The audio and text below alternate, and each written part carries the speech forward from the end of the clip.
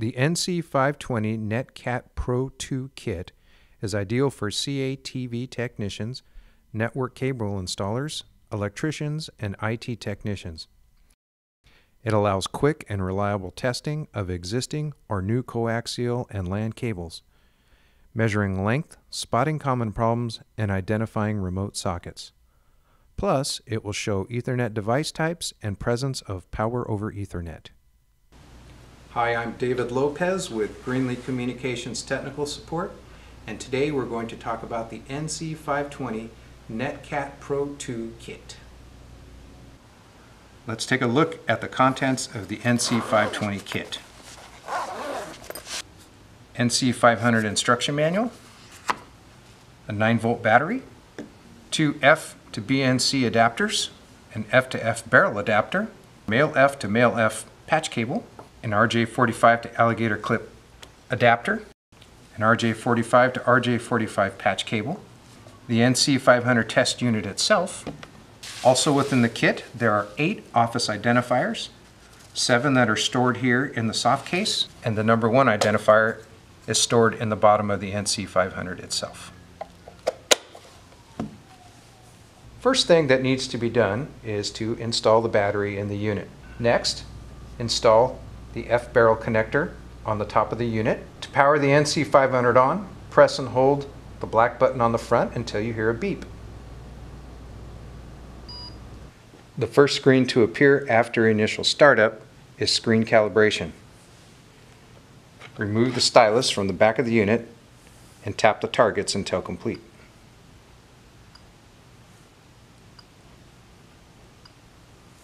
Next, we'll select the functioning language for the unit. We have English, French, German, and Spanish. Press the check mark when you've selected the language you want. Now, the unit needs to go through a zero length calibration. Make sure there's no ca cables connected to the unit, either at the bottom or at the top, and press the check mark. Next, you would clear the NVP user data at first initial startup you want to select the check mark and clear any data that's in the, in the unit. The unit is now ready to use for test. The NC520 kit is also capable of identifying multiple cable runs by using the office identifiers. For this demonstration, we're going to use this cable demonstration platform. There are four coax cables that are terminated here that then run through the bottom of the test platform and come out here. The cables are not identified. We will identify ports 1, 2, 3, and 4 using the NC500 test unit. First, we need to put the office identifiers onto their respective ports. For port 1, the office identifier number 1 is located in the bottom of the NC500. We will also need to use the coax jumper cable that's located in the kit. Apply it to one end of office identifier 1 and plug it in to port 1. Each of the office identifiers has a small number located on the top. Put that number into its corresponding port. This one is number two, so I'll put it in number two, number three, and finally number four. We're going to turn on the NC500. We'll connect the cable to the coax connector at the top of the unit. To initiate a test, you want to press with the stylus on the one pair coax test button. This cable corresponds with ID 3, so this is cable run number 3.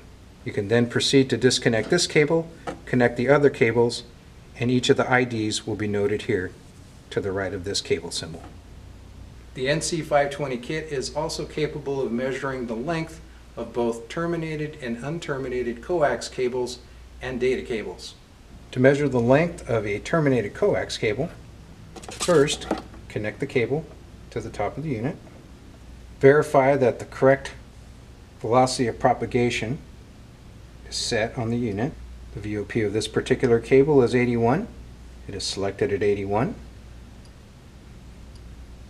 Go back to the main menu. Select the one pair coax test. The length of this cable is 90 feet.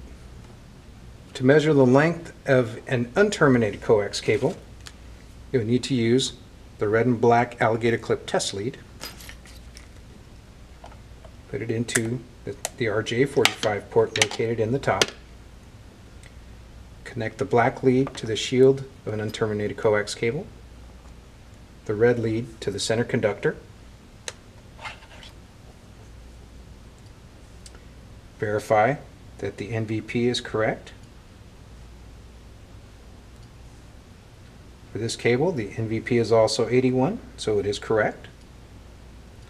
Tap back out to the main menu. Select the one pair coax test. The length of this spool of cable on this unterminated is 211 feet. To measure the length of an unterminated network cable, similar to the unterminated coax cable, we need to use the red and black alligator clip test lead. Insert it into the RJ45 port in the top of the unit. You'll need to strip back the jacket on your unterminated cable. Select one of the wire pairs. I've selected the blue and the blue-white pair from this cable. Strip the insulation off of the two conductors of the wire pair.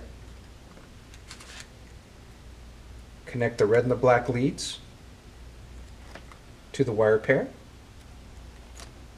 Touch the recycle button. The length of this cable is 657 feet.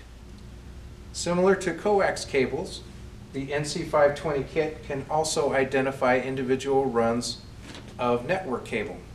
It does this also by using the office identifiers. Instead of plugging in the coax end, we will plug in the RJ45 end of the identifier. And as previously noted with coax cables, each one of the identifiers has its own unique number. We'll plug the office identifiers into the ports, noting which number is being plugged in.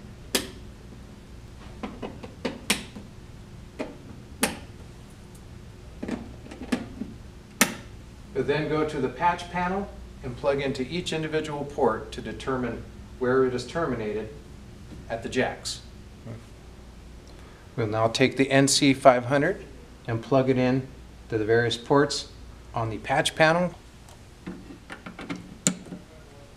To initiate the test, use the RJ45 network patch cable, plug it into the patch panel port, and then select multi-pair test.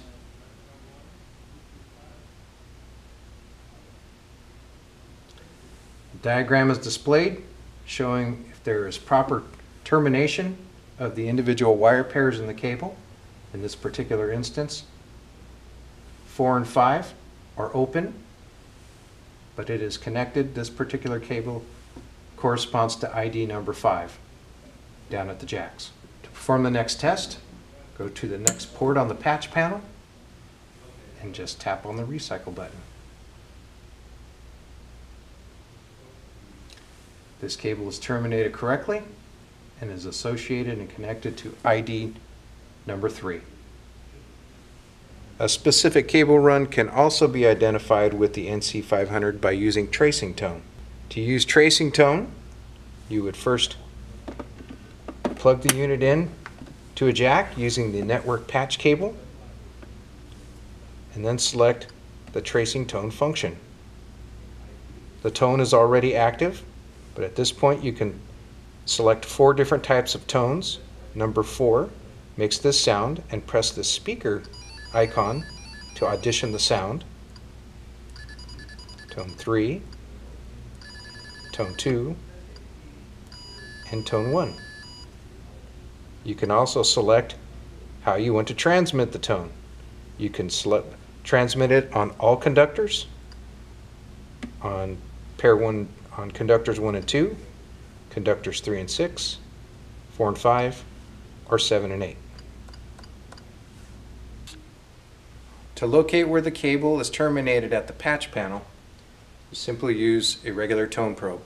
For today's demonstration, we will be using a Greenlee Communications 200 EP-G.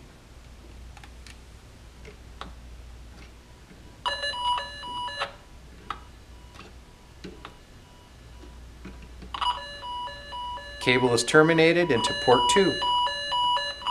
The NC500 test unit is able to detect where a network device is plugged in to either a hub or a switch. To initiate the test, plug the NC500 into the port and press the multi-pair test switch. This network cable is active. There is active data coming through this port. The unit can transmit and receive both in 10 base T, 100 base T, 100 base T 4 wire, and 1000 base T gigabit. It's also reflecting that there is power over Ethernet present on this network with voltage present on conductors 1 and 2 and conductors 3 and 6. The symbol over here that slowly blinks, each time this light blinks, it is blinking the network activity port on the switch. This port is blinking once every 3 seconds. This is the port that's being tested by the NC500. If you need any additional information, feel free to visit our website at greenleecommunications.com or call tech support at 1 800 642 2155 and select option 2. Thanks for watching.